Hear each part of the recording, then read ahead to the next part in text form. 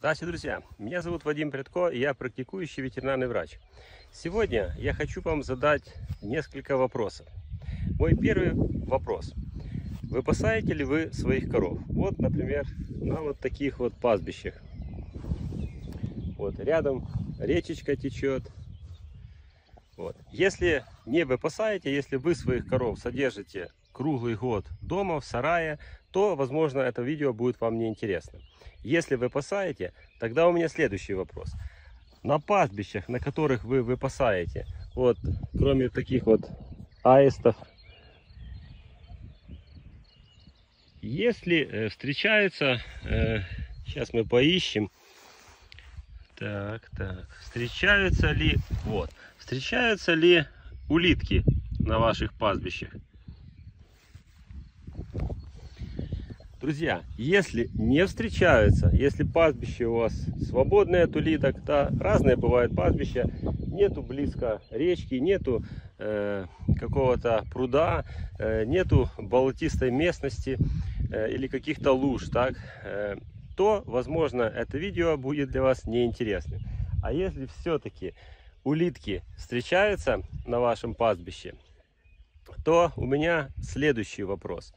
Проводите ли вы своим животным, своему скоту обработку против гельминтов. Если не проводите, если проводите, э, то опять же, возможно, это видео будет для вас неинтересным. Если не проводите, то это видео точно для вас. Но есть еще один четвертый, скажем, вопрос. Уверены ли вы, для тех, кто все-таки проводит обработку против листов, что вы правильно подбираете препарат, вот, и он э, эффективно уничтожает тех гельминтов, которые могут быть вот на подобных пастбищах. Вот. И э, я думаю, вы уже сгораете от интереса, о чем сегодня я буду рассказывать. А сегодня я поделюсь с вами э, интересная история из моей практики вот, э, о гельминтной инвазии, а именно о плоских червях, о трематодах, вот, но не э, тех, о которых вы привыкли слышать постоянно, да, фасциола и дикроцелии. Кстати, видео о дикроцелии есть на моем канале. Вот, а сегодня я вам расскажу о... Так, вот это кладбище.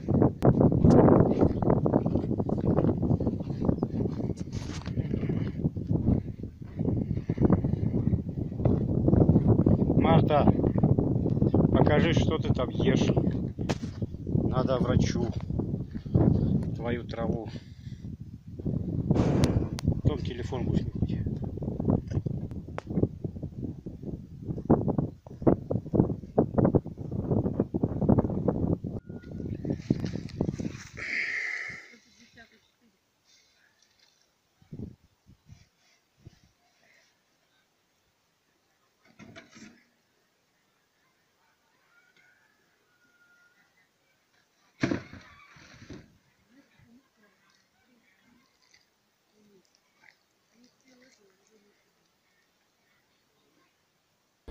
Итак, друзья, мы перенеслись с пастбища в более спокойную обстановку, коровник.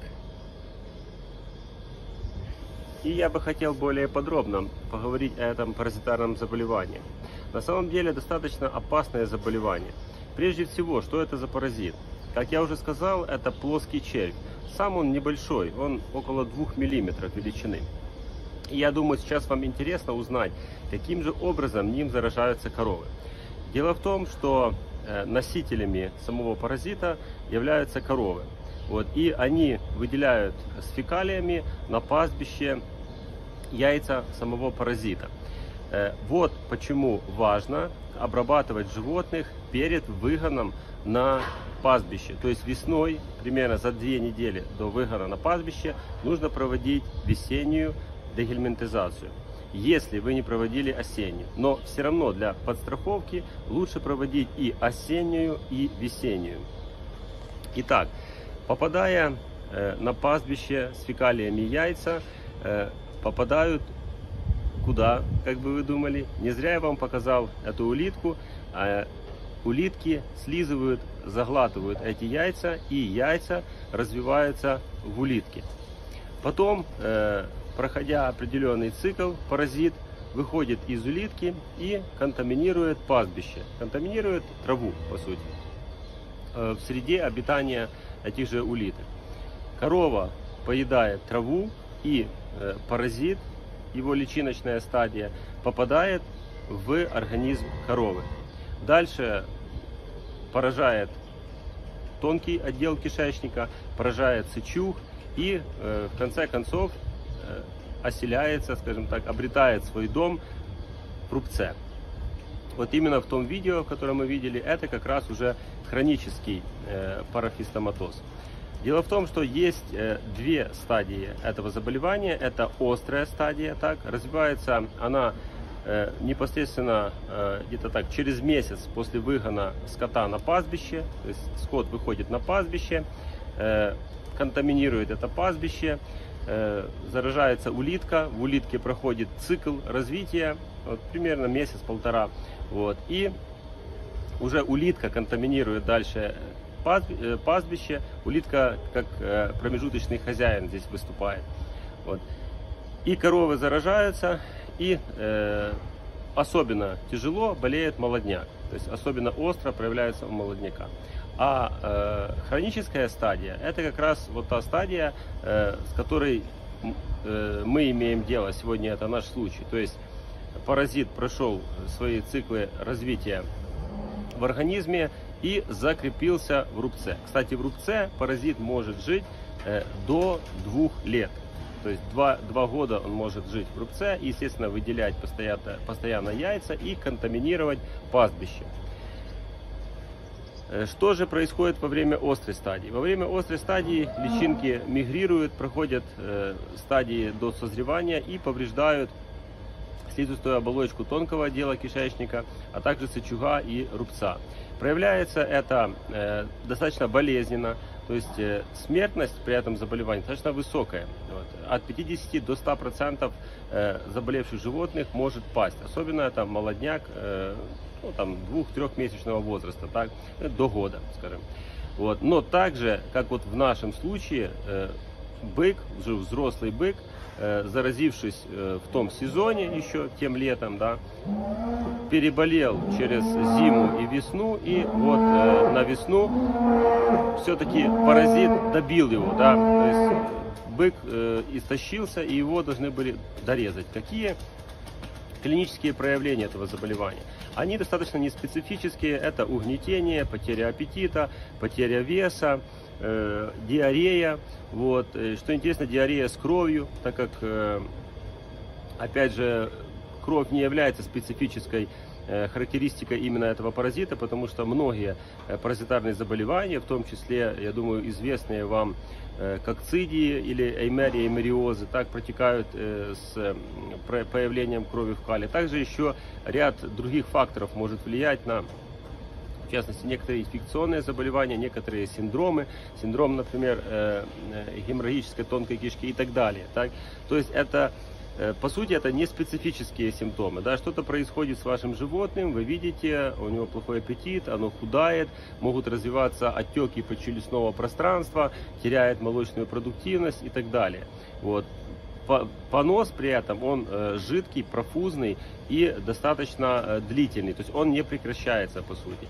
К тому же э, можно перепутать это заболевание с какой-то кишечной инфекцией, потому что в результате повреждения слизистой оболочки кишок в итоге все равно развивается и наслаивается вторичная микрофлора и развивается уже бактериальный энтерит. Хочется сказать, что я упустил важный момент, э, что э, этим заболеванием болеют также козы и овцы. Вот. Хотя в основном э, я с ним сталкиваюсь у крупного рогатого скота, но также возможно, возможно варианты заражения и коз, и овец, эм, если есть общий выпас. То есть если выпасаются на одном пастбище и коровы, и овцы, э, и, соответственно, козы. И если такое имеет место быть, и есть симптоматика, то есть не специфическая, хотя, хотя и не специфическая, но есть, да, то есть истощение, потеря аппетита, потеря молочной продуктивности, поносы э, необъяснимые, да, никакими причинами другими э, с примесью крови. Именно вот в этот летний период, э, скажем так, сначала через месяц после начала выпаса, ну и дальше э, на осень, на зиму, то нужно также предполагать, и если на пастбище есть улитки, то нужно тоже иметь в виду это заболевание при дифференциальной диагностике. Итак, касательно лечения. У нас есть э, специфический препарат, заточенный, скажем так, под парамфистоматоз. Этот препарат называется рафензол. Вот. Это суспензия э, производства компании Провофарма. Основное действующее вещество рафоксанид, которое именно и действует э, против этого паразита. А также э, там есть э, фенбендазол, что расширяет спектр действия этого ангельминтика и позволяет работать в широком диапазоне и против цистот, та же маниезия, так, и против легочных и кишечных нематод, так, широкий круг. Вот, это и астертагия, и странгелиды, и трихурисы и так далее. И также против трематод, то есть всех, э, по сути, трематод, не только парамфистоматоза, но также и фасциолеза, и дикроцелиоза. Ну, естественно, легочные нематоды, диктиокаулез. Так? То есть широкого спектра препарат, э, в принципе, отлично разводится, отлично утречком на голодный желудок задается с теплой водичкой орально, бутылочкой, вот. э, Но есть один э, нюанс и минус, так? Это каренция на молоко. То есть каренция на молоко э, составляет аж 7 дней. Это достаточно много. Пока мы оставим рафензол, пойдем дальше, но мы сейчас вернемся к нему. Есть еще варианты. Например, для коров есть суспензия, которая называется трематозол. Так, там э, содержится действующее вещество оксиклозанид. Вот. И также э, другое э, действующее вещество там содержится. Вот. И оксиклозанид как раз э, тоже противотрематодозный препарат. И тоже имеет действие на парамфистоматоз. Также он имеет широкий спектр действия, но не действует э, вот на цистот. Э, минус этого препарата по сравнению с рафензолом это то, что э, к нему может, могут быть нечувствительны определенные вот как раз э, виды парамфистоматод, потому что достаточно специфическая трематода и, э, я бы сказал, стойкая, так как описывает ее литература и подсказывает жизненная практика. Поэтому в некоторых случаях, если не, э, проблема не будет решена с помощью вот трематозола, плюс это всего лишь э, один день каренции на молоко, это очень выгодно, 7 дней и один день каренции на молоко. Но могут, может не справиться. Может не справиться. Особенно если э, многократно уже применялся животному и возможно развитие резистенции. Это нужно иметь в виду.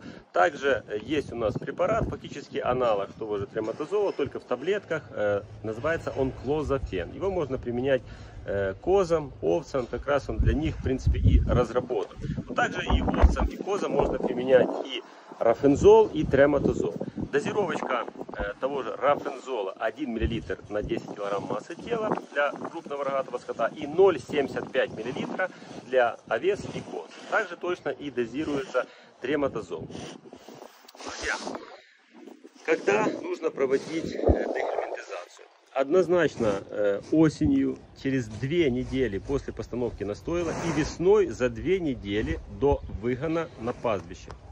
Однозначно, не обсуждается. Нужны ли дополнительные обработки? Да, нужны. Если у нас э, сильная заглищенность пастбища, если у нас явная клиника через месяц, полтора-два после выгона на пастбище, особенно если сильно страдает молодняк, конечно же мы не будем дожидаться осени для того, чтобы обработать животного. Ну, молодняк или не молодняк, или подрастающий э, наш ремонтный стадо, или бычки наши на откорме, или даже наша корова, да, то есть дополнительные э, обработки на протяжении пастбищного сезона, потому что и пастбищный сезон может тоже иметь различную протяженность, да, у кого-то он может затянуться чуть ли не до это, чуть ли не до Нового года, да, вот пастбищный сезон. Разные есть регионы, разные погодные условия, тем более сейчас вот видите, э, меняется климат, более жаркий. Так? Поэтому дополнительные обработки э, показаны при э, проявлении той же кли- клинической э, ситуации, либо при э, выявлении э, с помощью капрологии э, яиц э, гельминтов в организме. Друзья, я надеюсь, вы поняли и осознали, насколько серьезно это заболевание.